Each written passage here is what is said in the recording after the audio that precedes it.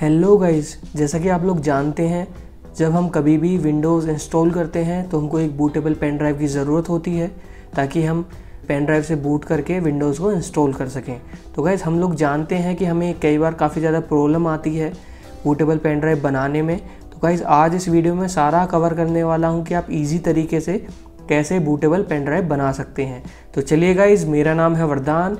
मैं स्वागत करता हूँ आपका अपने चैनल पर। गाइज़ सबसे पहले मैं आप लोगों के सामने विंडोज़ 10 डाउनलोड करूँगा और विंडोज़ 10 डाउनलोड करने के बाद उसकी आईएसओ फ़ाइल सेव कर लूँगा कहीं पर और उस आईएसओ फ़ाइल को यूज़ करके मैं आपको एक बूटेबल पेन ड्राइव बनाकर दिखाऊँगा। तो चलिए गाइज़ शुरू करते हैं। चलिए गाइज़ सबसे पहले विंडोज़ 10 डाउनलोड करते हैं। तो विंडोज़ 10 डाउनलोड करने के लिए आपको जाना होगा आपके ब्राउज़र पर और ब्राउज़र पर जाने के बाद आपको विंडोज़ 10 आई डाउनलोड करनी है। तो विंडोज़ 10 डाउनलोड लिखेंगे।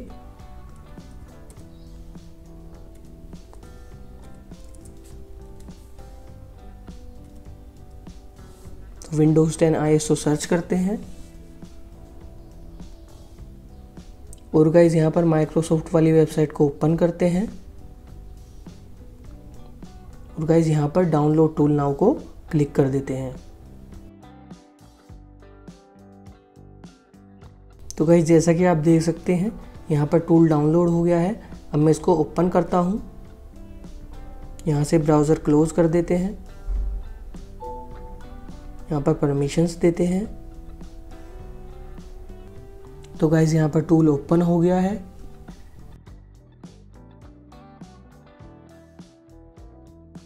तो गाइज़ यहाँ से अब हम टर्म एंड कंडीशंस को मान लेते हैं।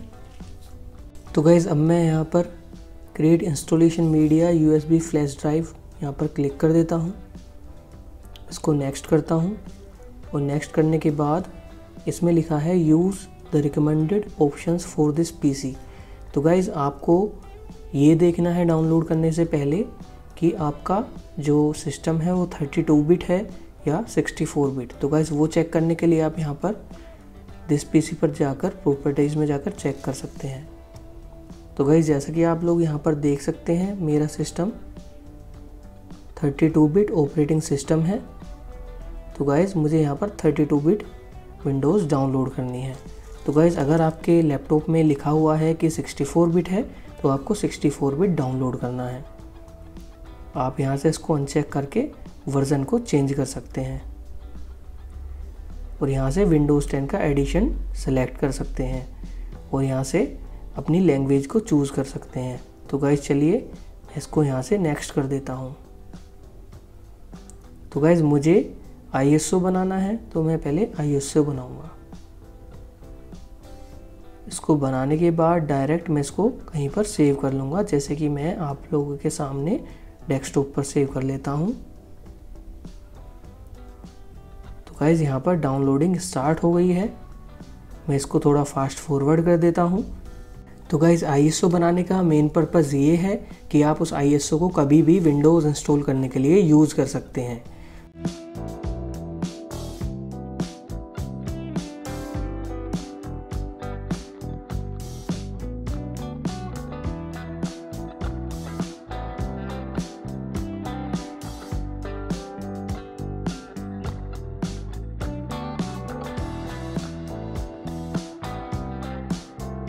तो गैस आप लोग अब यहाँ पर देख सकते हैं कि विंडोज़ 10 डाउनलोड हो गई है मेरे डेस्कटॉप पर। तो गैस इसकी आई डाउनलोड हो गई है। अब मैं यहाँ पर फिनिश कर दूँगा। तो गैस फिनिश करने के बाद मैं एक पेन ड्राइव को यूज़ करने वाला हूँ। तो गैस आप आठ जी या आठ जी से ज़्यादा की कोई भी पेन ड्राइव यूज़ कर सकते हैं इस प्रोसेस के लिए। तो गैस अभी जो मैं यहाँ पर पेन ड्राइव यूज़ करने वाला हूँ, ये थर्टी टू जी की पेन ड्राइव है। तो चलिए गए शुरू करते हैं। इसको मैं इंसर्ट करता हूँ अपने लैपटॉप में। तो गैस पेन ड्राइव इंसर्ट करने के बाद हमको एक सॉफ्टवेयर और डाउनलोड करना पड़ेगा, जो कि दो से तीन एमबी का है सिर्फ़। तो गैस हम अपना ब्राउज़र ओपन करेंगे। ओपन करने के बाद यहाँ पर रूफस टाइप करेंगे। इसको ओपन करेंगे। तो गैस इसको डाउनलोड करने का लिंक मैं आपको डिस्क्रिप्शन में भी दे दूँगा। तो गैस यहाँ पर क्लिक करते हैं। क्लिक करने के बाद इसको नीचे डाउनलोड से डाउनलोड कर लेते हैं। तो गाइज़ जैसे कि आप लोग देख सकते हैं डाउनलोड हो गया है। अब मैं इसको ओपन करूँगा।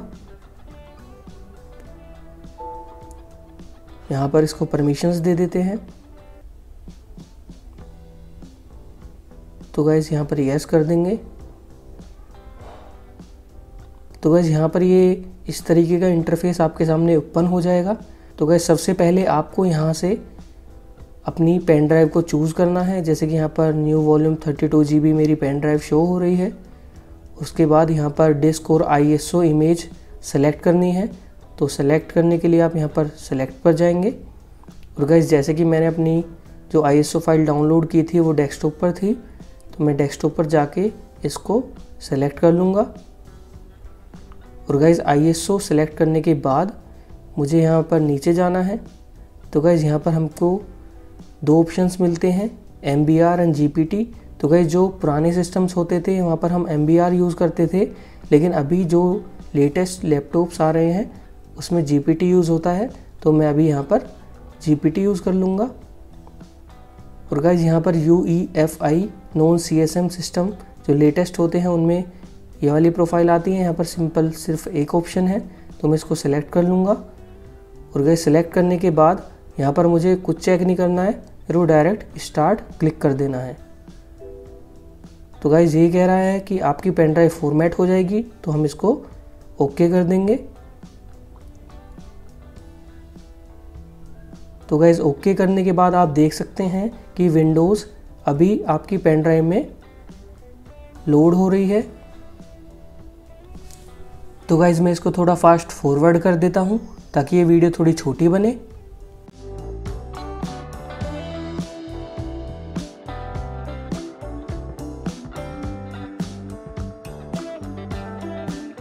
तो गाइज़ जैसा कि आप लोग अब देख सकते हैं, ये मेरी बूटेबल पेन ड्राइव रेडी हो गई है। जैसे यहाँ पर रेडी लिखा आएगा, मैं इसको यहाँ से क्लोज़ कर दूँगा।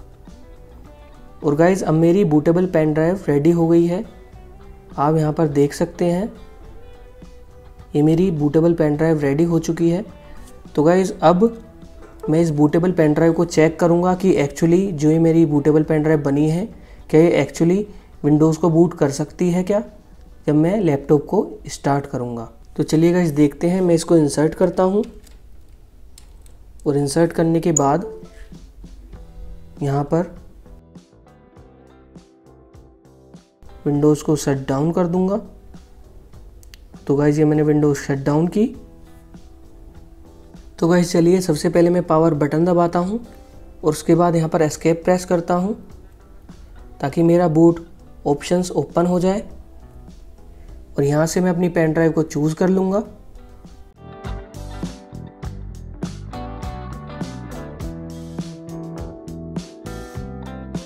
तो गाइज़ आप लोग देख सकते हैं कि जो हमने बूटेबल पेन ड्राइव बनाई है, वो ईजिली बूट हो रही है। तो गाइज़ ये वीडियो आपको यही बताने के लिए मैंने बनाई है कि आप कैसे बूटेबल पेन ड्राइव बना सकते हैं, वो भी इजी तरीके से। तो गाइज़ आप लोग देख सकते हैं विंडोज़ इंस्टॉलेशन स्टार्ट हो गया है हमारे लैपटॉप पर। तो गाइज़ जल्द ही मैं एक नेक्स्ट वीडियो बनाने वाला हूँ, जिसमें मैं आपको बताऊँगा कि आप अपने लैपटॉप में विंडोज़ टेन कैसे इंस्टॉल कर सकते हैं, वो भी बिल्कुल ईजी तरीके से। तो गाइज़ ये वीडियो आपको कैसी लगी? कमेंट करना ना भूलें वीडियो को लाइक करें वीडियो को शेयर करें, और मेरे चैनल को सब्सक्राइब करें।